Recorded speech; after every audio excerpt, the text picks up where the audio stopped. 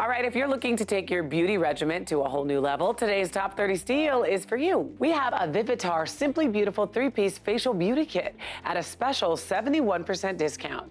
This three-in-one combo kit includes a facial brush, a T-bar facial stimulator, and a precision trimmer. The facial brush cleans, massages, and exfoliates your skin. You just use it with your favorite cleansing product to really make them sink in.